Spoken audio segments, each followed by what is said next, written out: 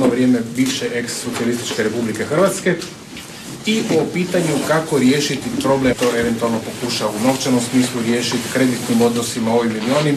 Vidjet ćete iz njegovog izlaganja da je takav jedan pristup dosta neracionalan i da zapravo on nudi jedno vrlo racionalno rješenje. Znači, odsutan iz javnosti, imate stotine pitanja. Ali dozvolite da danas se zadržimo samo na ovom pitanju vezano za agrokomerc i pitanje imovine agrokomerca u Hrvatskoj.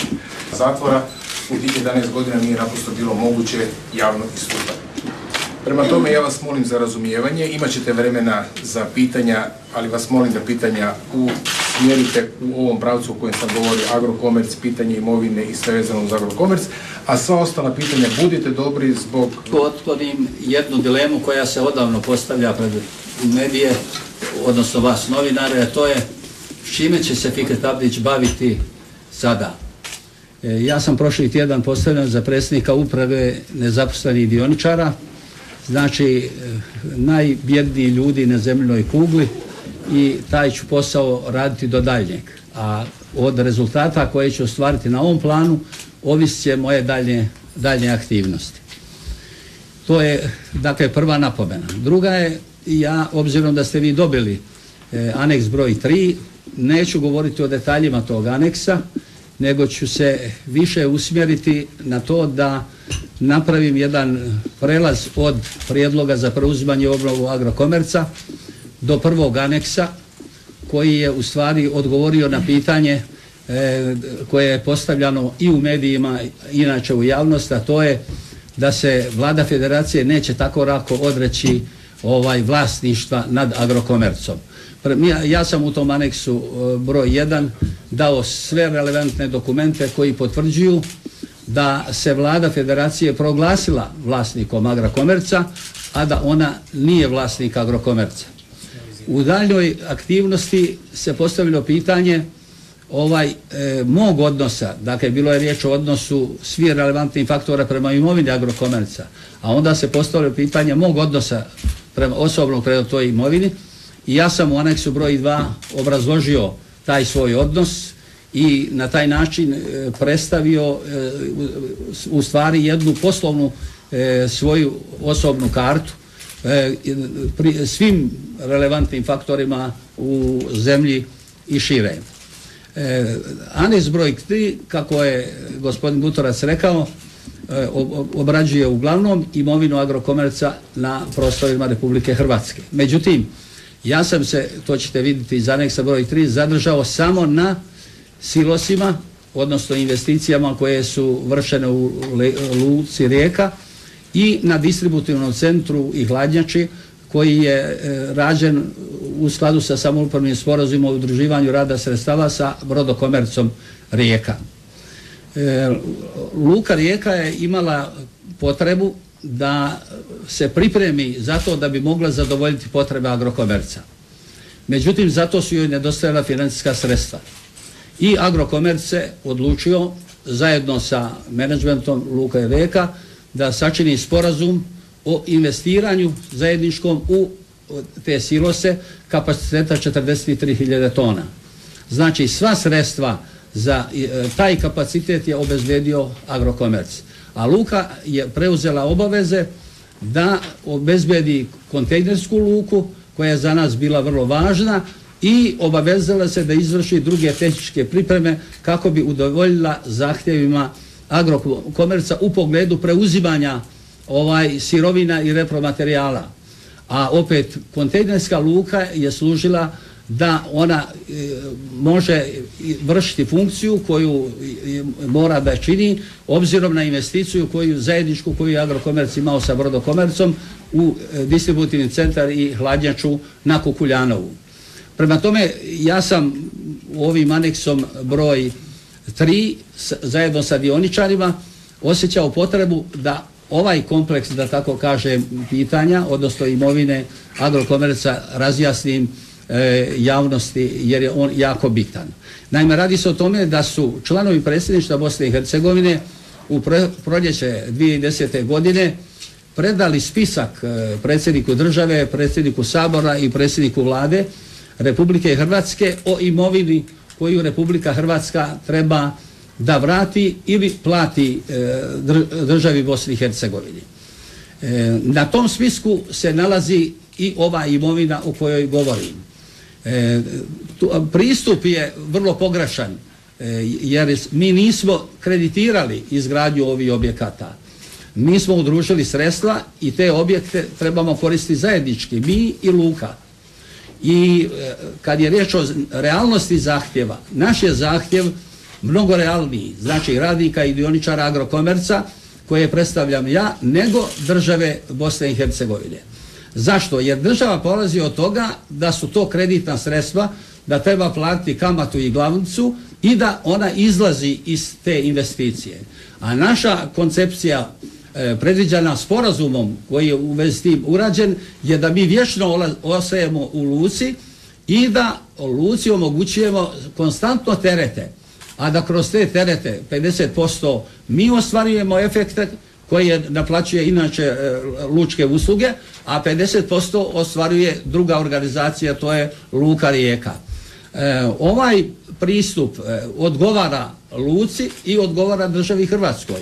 Onda odgovara i državi Bosni i Hercegovini i radnicima i dioničarima agrokomerca. Međutim, ako se e, ako bi se ovako prilazilo o tom poslu, onda to znači da agrokomerc definitivno prestaje da radi. A to je velika opasnost i to je ono što najgore što bi se moglo desiti ovaj radnicima i dioničarima agrokomerca.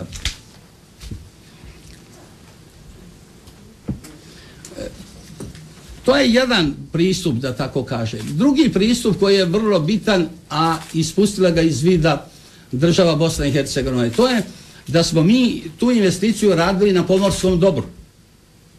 I da to pomorsko dobro je poslovanje na njemu je regulisano posebnim propisima. I u skladu sa tim propisima ne može država Bosna i Hercegovina imati svoje objekte u Luci Rijeka. Ona može da izgradi te na način kao što smo mi to činili i da koristi na način kako bi mi to trebali u buduće činiti. Ali ni u kom slučaju da se na drugi način ta investicija tretira. E sad, e, obzirom da smo mi ovim načinom, da tako kažem, e, obezbeđivanja sredstava Luce Rijeka, e, rasteretili tu organizaciju drugih obaveza, ona je bila u, u poziciji da može graditi kontejnersku luku, bez koje agrokomerc ne bi mogao izvoziti svoje proizvode i radi koji on ne bi mogao iskoristiti efekte koji proističu iz investicije e, koja je e, izgrađena u Kukuljanovu, a to je distributivni centar i e, hladnjača. I ovdje je također treba imati u vidu tri stvari. Prva je da je to udruživanje u zajednički objekat. Druga stvar koju treba imati na umu jeste da e, je agrokomerc obezbedio sredstva za izgradnju te investicije i treća da je agrokomerc izvodio radove sa svojom građevinskom operativom. Naime, mi smo zajedno sa brodokomercom i brodomaterijalom u to vrijeme vrlo moćnim spoljno-trgovinskim organizacijama e, ne za e, nivo Hrvatske, nego Jugoslavije i jugoistočne Europe. Mi smo pošli, dakle, sa njima zajedno od toga da zajedno moramo ići na svjetsko tržište. I točno smo, točno smo podijelili što treba da uradi agrokomerc, a to je ovo što sam već rekao, što treba da uradi brodokomerc, a što brodomaterijal.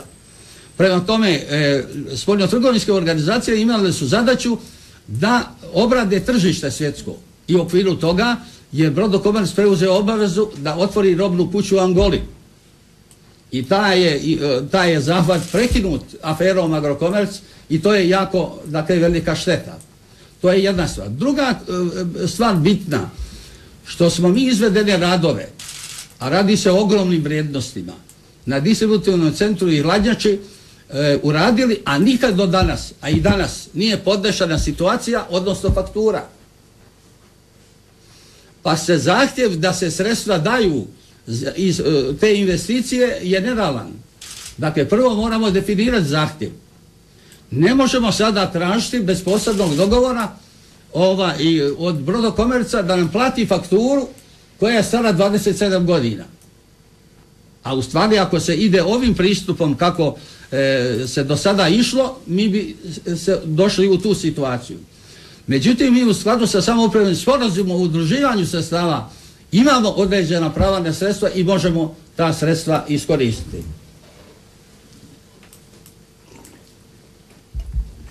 Pardon. Prema tome, to je jedan vrlo delikatan odnos, vrlo suvremen i po, poslovni odnos koji zahtjeva i takav tretman. Međutim, nakon dužeg vremena mijenjaju se svi zahtjevi. Radi toga jer agrokomerc se ne zamišlja onakvim kakav je bio. Niti agrokomerc se planira razvijati onako kako ga radnici agrokomerca, dioničari i ja mislimo razvijati. Toj velikoj firmi je potrebna Luka Rijeka na jedan način. E, vladi federacije je važno da za te silose dobije koliko toliko sredstava. Da popuni inače prazan budžet e, federacije. Prema tome tu se razilaze naši interesi formalno pravno. Međutim, suštinski, ako će se gledati interesi e, radi ljudi i građana države Bosne i Hercegovine, onda ovaj naš pristup odgovara njima jer se tamo zagovara e, zapošljavanje, a moj osnovni cilj je e, i ja sam rekao da će se e, nakon izlaska iz zatvora, da će moja glavna borba biti usmjerena na borbu protiv bijede, nezaposlenosti i siromaštva. Prema tome, ako slijedim tu borbu, ja onda ne mogu bez agrokomerca, ali agrokomerca onako koji to obezbeđuje, a ne agrokomerca koji biološku proizvodnju svodi, recimo proizvodnju jaja sa 30, 320 e, miliona na 30 miliona jaja, brojlesku proizvodnju sa 22 miliona na 122 tisuće ovaj, i tako dalje. Dakle, to, tu nema prostora za ovaj koncept o kome, s kojim sam počeo i kojega mi moramo e, izvesti do kraja.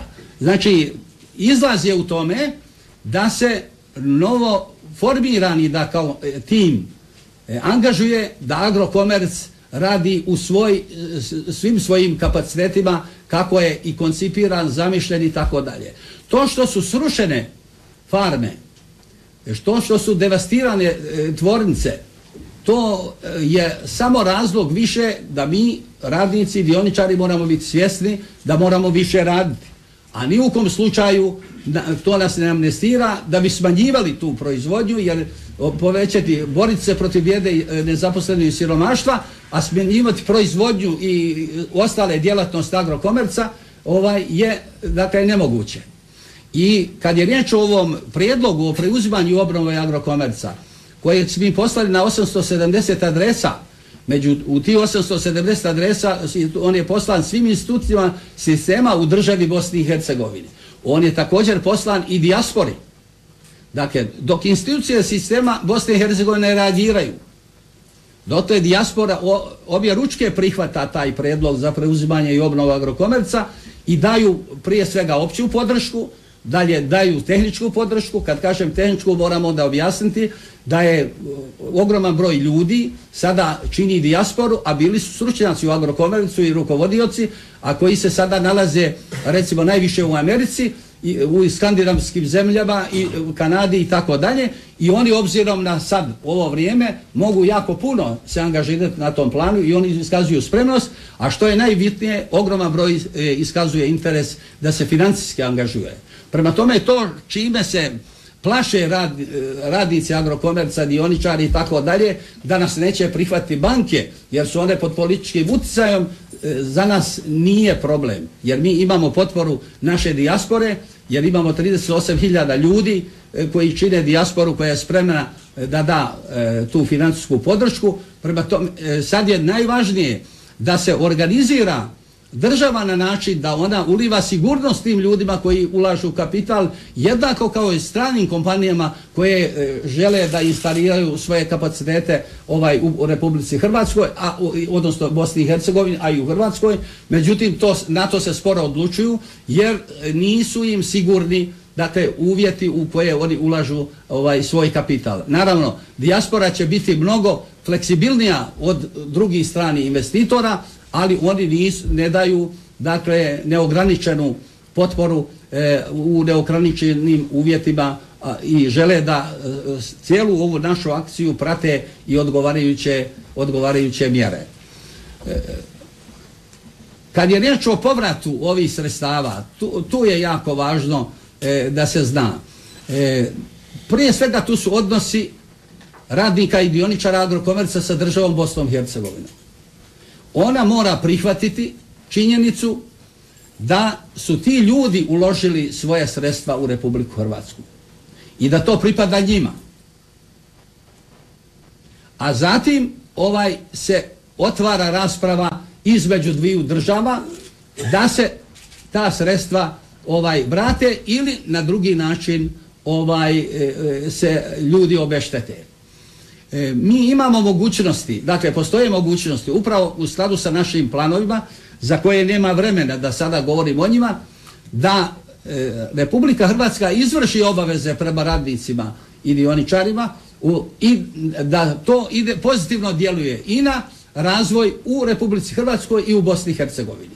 Tu prije svega mislim na programe prekogranične suradnje, jer Agrokomerc ima najdužu liniju sa sedam općina u Republici Hrvatskoj, a na drugoj strani svega ovaj veliko kladuša općina i e, njegovi se kapaciteti su tako instalirani da e, se tu može računati i voditi o računa i o kriterija e, Brisela, ali o interesima našim. Mi se možemo i na drugi način organizirati. Dakle, organizirati na način da to odgovara ovaj kriterijima svih zainteresiranih e, dakle e, organizacija i da e, riješimo jedan vrlo vrlo delikatan problem, a to je da se riješe obaveze na dobrobit jedne i druge države i da to pozitivno utiče na razvoj jedne i druge države. Pritom mislim na jedan izvanredan resurs koga agrokomerc ima, a to su kadrovi koji su spremni, koji su sada u podmaklim godinama, ali su e,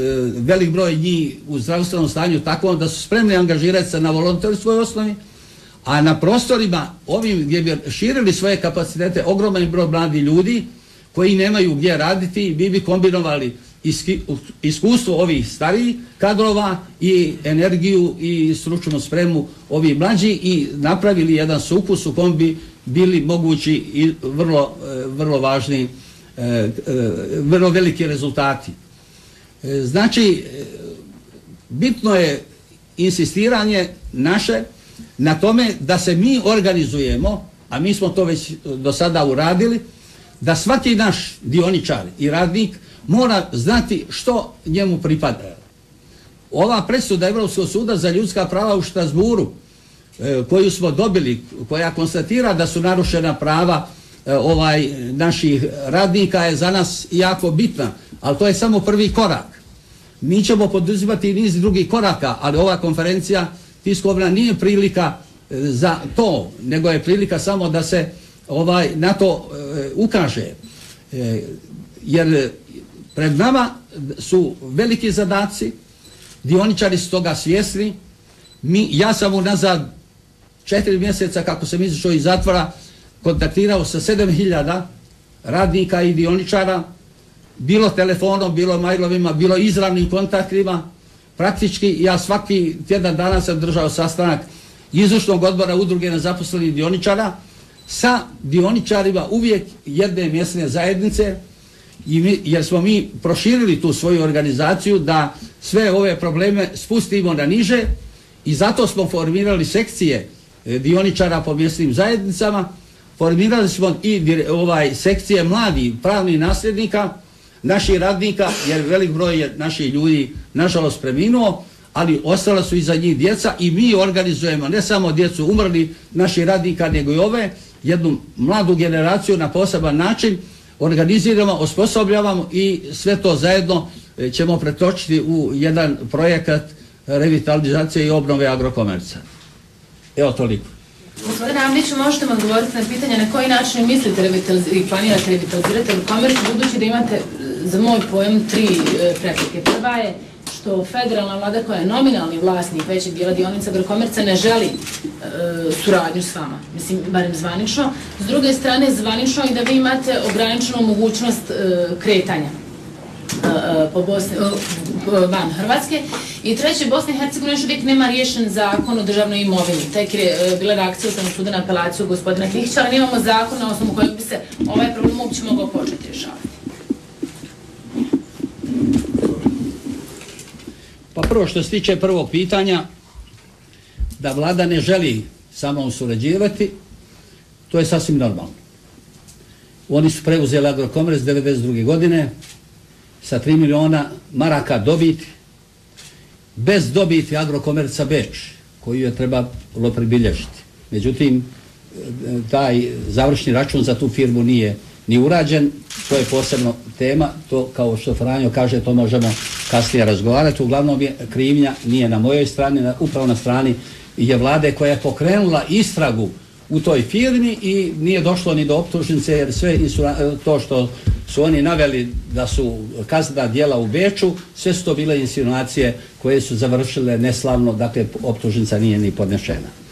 Dakle, pre, preuzela je. Sada Agrokomerc, dok mi držimo ovu konferenciju, sjeku se hale, ruše se objekti i tako dalje. Dakle, to je jasno. S druge strane, mi to znamo, mi na tom, to se gledao, Agrokomerc je zaustavljen, svjesno.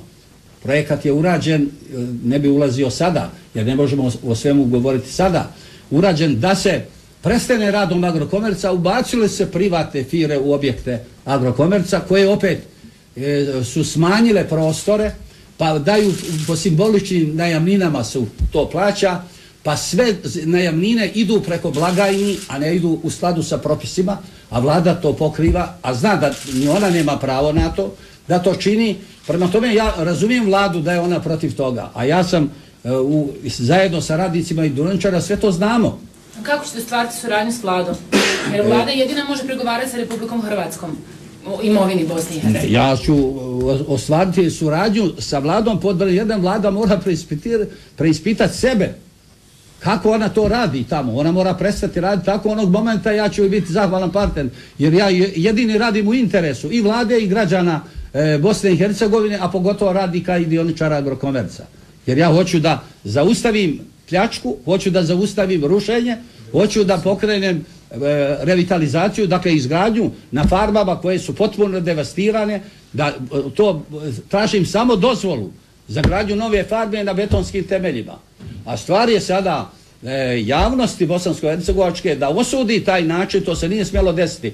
Uporno dok se tvrdi da treba ljude zapošljavati tamo, da privreda zaostaje i tako dalje, e, najsnažniji ekonomski organizam u Bosni i Hercegovini se obilato ruši. I danas na zadnjoj sjednici izvršnog odbora su konstatirali točno farme koje se sjeku sada ubrzano. Znači to, a to vlada asistira tome. I kako ona da se složi? Međutim, taj se odnos mora promijeniti. Niko nema pravo da se tako ponaša pa ni vlada federacije. A vezano za zakon... A što se tiče ograničenja moga, to ja imam samo potrebu da se javim i to ovaj u sud i da kažem idem u Austriju, idem u, Nje- u Sloveniju i tako dalje. To što je u Bosnu i Hercegovini, i da, dakle nema, ja nemam ograničenja nikakvi. S druge strane, što se tiče drugih ograničenja, da li ću ja moći i tako dalje, to su izmješljotine koje ne pale. Izvinite, što zakon o državnoj imovini. Molim? Nemamo zakon o državnoj imovini u Bosni i Ne, Hercegovini. pa to nije državna imovina, u tome stvari ne treba, to je dobro da nema, to agrokomerc, svoja imovina nije državna imovina. Oni ničim ne mogu. Aneks broj 1, vi bi morali malo analizirati anekse. On točno konstatira da Dom za ljudska prava kao najveće sudbeno tijelo u Bosni i Hercegovini nakon Dejtonskog sporazuma je donio privremenu mjeru da su vla, dioničari vlasnici 53%, vlada 47%. Naložio je reviziju međunarodnu. Revizija je izvršena, e, e, revizija je izvršena ovaj i ali je e, Deloitte Tuš direktor napisao pismo. Molim vas, na bazi ovog nalaza ne možete nikom davati ni uskraćivati prava. Ako to želite hitno, zakažite sastanak. A što to podrazumijeva? Da se proširi ovaj is, revizija i da oni dođu do tih podataka. To je jedna konstatacija. Drugo, mi smo dali dokument u tog pisma gdje na prvoj stranici oni kažu mi smo koristili tu i tu dokumentaciju. Nema dokumentacije koju sam ja preko svoje čerke Elvire dao njima šest kutija dokumentacije. Ja sam im poslao i zapisnik na 23 stanice e, popis materijala koji je preuzeo Dom za ljudska prava od e, moje čerke. Nijedan od tih dokumenata u reviziji nije nabrojan. A na stranici drugoj kaže mi se ograđujemo od valjanosti te dokumenta, vjerodostojnosti dokumentacije. I konstatacija, na bazi ovog ne možete utvrđivati prava, oni su utvrdili prava. I da bi katastrofa bila još gora. Ovaj, udruga nezaposlenih dioničara je tužila vladu. Dakle, vlada je tužena strana. Oni su isključili udrugu nezaposlenih dioničara, a osnovali novu udrugu i registrirali je u, kantonu Bihačkom, Unsko-Sanskom. A mi smo registrirali udrugu kod Ministarstva pravosuđa ovaj, e, u Sarajevu. I prenijeli sve obaveze, iako i OSC dao sebi pismo OSC-a da to ne smiju uraditi. Da isuče sragu. Dakle, oni su nacionalizirali agrokomers, vlada federacije i oni moraju odgovarati za tu nacionalizaciju. I nema snage koja može ovaj sputati, a oni računaju na to, na, pored ostale na ova pitanja i računaju da ćemo se mi uvoriti. A mi nakon ovog aneksa tek idemo dalje. I vi ćete imati o, o čemu i, i pisati. Evo, dobro. Kolegice, izvolite. Marija Bogdanović iz Novinske agencije Republike Srpske. Zanima me, evo, sada kažete da jednim dijelom i ne očekujete u svemu tome podršku vlade federacije, ali očekujete li podršku sa nivoa vlasti Bosne i Hercegovine?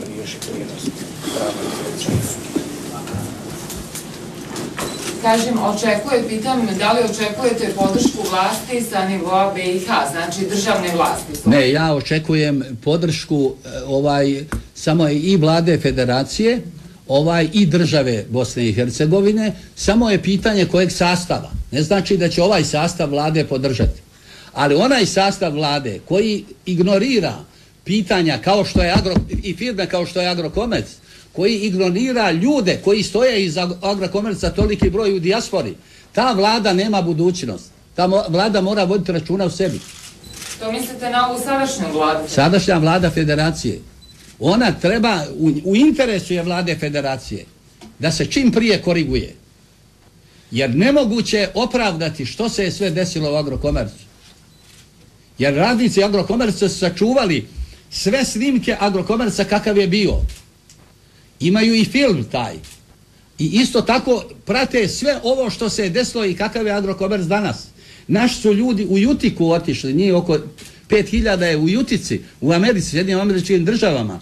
Meni je gradonačelnik, to je bilo negdje 90 i e, prije jednu godinu, dvije godine prije mog hapšenja, tražio da istu takvu firmu napravimo u Americi, da uposlim te ljude, da je problem finanskih sredstava njihov.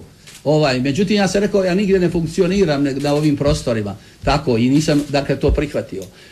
Znači, ne može niko ignorirati takvu ekonomsku snagu, takav potencijal, kakav je agrokomerc, zajedno sa njegovim ljudima, koji su danas mnogi u penziji, razumijem, i to malo iz niza razloga, vrijeme ne dozvoljava, ovaj da, da imaju tako male penzije, ovaj ne može to niko, a pogotovo ne može niko ignorirati želju i ambicije ljudi da tamo sebi stvore bolju i sretniju budućnost na tim prostorima i u tim objektima. A da li vam je neko odgovorio na pismo koje ste uputili institucijama Bosne i Hercegovine iz tih institucija? Ne, niko mi nije odgovorio, ni institucija iz institucija federacije, niti institucija Bosne i Hercegovine, osim što se delegiraju ovaj novinari a, da postave pitanje nekim iz SDA i tako da im ne ume, koji onda daju odgovore kako oni to ne mogu odgovoriti i tako dalje, pa onda govore o tome da ja imam 70 i nešto da sam senil ili starac. Dakle, vređa i mene i dioničare umjesto da odgovara na pitanje koje sam ja podkrenuo u predlog za preuzimanje i obnovu agrokomerca. Ali to nije bitno. To, nije, to ništa nas ne može sputati da mi ostvarimo svoje ciljeve. Jer naši su ciljevi, dakle, humani. To je jedna stvar. I druga, bilo je intervjua. Na primjer, Bakir Izetbegović je dao intervju u kojem je on rekao mi ne računamo sa Fikatom Abdićem. To je sad njegov problem, jer mi ja tražim da se firma preda dioničarima, a oni odlučuju da li ću ja ovaj, bi, e, da li oni, hoće li mene uzeti ili neće. Dakle, dioničari, to nije stvar vlasti. Dakle, to je jedno. I drugo, pored ostalih primjer, da ja sam odio dokumentaciju E, što je van pameti, oni su ovu dokumentaciju imaju, ali bez dokumentacije se želi obaviti razgovori i dobiti koliko, toliko sredstava, jer ne interesuje njih razvoj agrokomerca. Oni bi htjeli da pokupe po drugim državama što ima, da napune e, proračun, a tamo narod i ti ljudi koji tamo bjedno žive, nek se snadlaze kako znaju i umiju.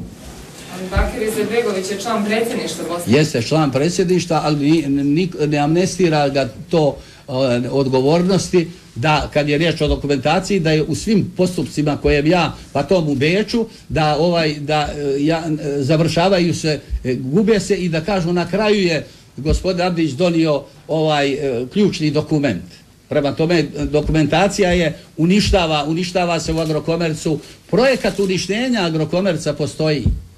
I Bosna i Hercegovina mora identificirati ljude koji su kreatori tog projekta. Nije slučajno srušen agrokomerc. Međutim, mi se tom suprostavljamo i mi želimo da revitaliziramo agrokomerc svaka, ovakav kakav je. Možeš dosta pitanja. Da. Izvolite, kolega. Magazin podzemnik Vlado Mihajlović. Ja imam osjećaj, pošto već pratim malo duže, da je to sve iscrpljivanje. Znači, iscrpljivanje vas i vaših idioničara da ostavite neka svoja prava. Jer sad, moji prethodnici su spomenuli i od dvije vlade, što je sa vladom Republike Hrvatske? Da li vas ona ikad podržava, da li uopće s njom imate neke kontakte i može li ona tu pomoći dio imovine na kraju i Hrvatskoj? Ja se nisam obraćao vladi Republike Hrvatske do sada. Prema tome, u daljnjim aktivnostima mi imamo u programu i to, ali mi za sada stojimo, a u pravu ste da se računa da se mi umorimo, jer ova e, šutnja je ovaj e, e, faktor borbe protiv naše kreativnosti. Dakle, ne odgovarati, medije nagovarati da ne pišu o tome, oni će vidjeti da džaba to postaviju, koliko god oni radili, mi ćemo uništavati to dalje i tako dalje, ali taj se proces mora zaustaviti. A se mislite obratiti vlade Republike? Mislim se ja obratiti svim, e, ne samo vlade Republike Hrvatske, i vlade Republike Hrvatske, ali i mnogo šire. Jer nemoguće je toliko ljudi na širom na planeti koji su zainteresirani za revitalizaciju agrokomerca i ambicije ljudi na tom području. Vi ste spomenuli da želite revitalizirati agrokomerc pomoći pokrenuti ponovno da je rasprodan, podijeljen i tako dalje. Međutim, šta je sa sudskim procesom u Rijeci protiv vas i vašeg sina za nelegalnu privatizaciju i oduzimanje imovine agrokomerca? Sudski proces, kako vidite, da ide jako sporo. Dokumentacija koja je dostavljena u kaznenom dijelu koje se ja počinio je e, netočna i ja sam predao dokumentaciju drugu i sada će biti obavljeno financijsko vještačenje ovaj, te dokumentacije. Prema tome, ovaj, to je to. A i sličan postupak je vođen u Karlovcu protiv mene i ja sam definitivno 28.8. prošle godine oslobođen. Značajan dio toga zašto sam ja oslobođen nalazi se i u ovoj optužnici. I kad e, već pitate da vam kažem da je 2007. godine 14.2. bila prva rasprava povodom te tužbe koju je podnio Mujo Milak e, u dogovoru naravno sa vlastima u Sarajevu protiv mene ovaj dakle on je dobio rok i kad su meni predočili dokument ja sam rekao to je falsifikat za to u Karlovcu sud je dao rok e, od e, mjesec dana da oni dostave dokumentaciju koju sam tražio. Oni je nikad nisu dostavili i stvar je završila se, išla dalje i tako dalje. Prema tome, Umjesto toga on je podio drugu u rijeku. A osim toga, d- 2008. godine za to što je u Rijeci podnešeno, podijeli su i u Bosnu i Hercegovini. Pa su dobili odgovor da ne može dva puta za istu stvar. Ovaj, iz Bosne i Hercegovine dobili. Prema tome, to utrkivanje u progonu čovjeka koji je na, više napravio u privredi Bosne i Hercegovine, a konkretno na tom ekonomskom organizmu koje svi rezultati su vezani, ništa drugo nije izgrađeno od kako sam ja otišao, samo se ruši i samo se sudi meni. E,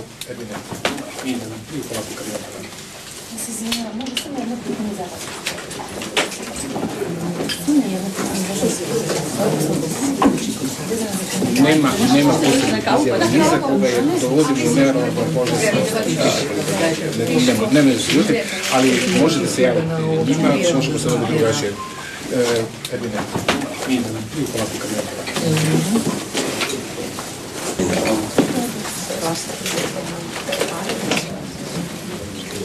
Ne, ne, ne.